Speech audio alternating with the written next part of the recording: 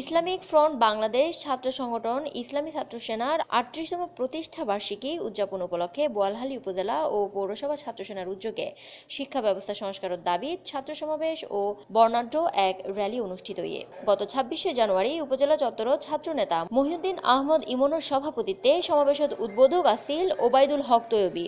এরে প্রধান অতিথি আসিল জননেতা অধ্যক্ষ আল্লামা এস এম ফরিদ উদ্দিন প্রধান বক্তা আসিল ছাত্রনেতা এম কফির উদ্দিন রানা।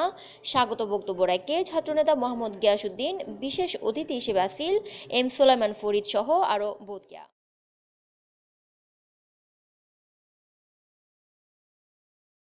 এই যে দেখো কেওয়াই এর মুরগি মার্কা ঢেউটিন দিয়া বানানো আমার ঘর। কেওয়াইয়ের মুরগি মার্কা ঢেউটিন লাগাইলেই হিট।